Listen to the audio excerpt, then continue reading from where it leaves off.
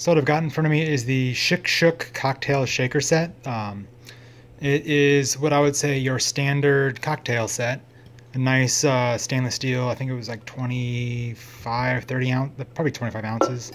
Um, we have your lid with the integrated strainer, as uh, is very common. So it fits well. It fits pretty well on top, but yeah, you won't be getting anything kind of coming out of this one. It does uh, stay on pretty tight. Nothing there. Uh, it comes with a nice basic jigger. You know, I'm sure you all know how to use that. Um, one thing I liked was the two included uh, little pourer spouts. Nice touch. Um, kind of saves a little bit of hassle when pouring into your jigger. And then a velvety pouch that I guess is for storage. Um, my main concern with that is if you don't clean this or any of these parts, this thing is going to start to get gross very quickly. Um, so if you want to use your pouch, be sure you fully clean your shaker and all of your pieces. Um, that being said, it's a nice way to store it, and it's uh, you know nice little touch.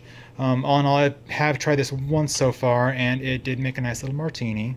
Um, a little bit of branding there, the Shikshook. It's uh, overall pretty nice.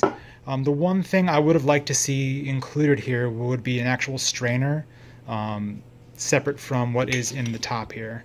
So, uh, you know, one of those little spiral things you can hold over once you open it up to pour. But all in all, I like it. This is the Shikshook box. It was a little beat up when I got it. Um, but all in all, it's a good product. Thanks.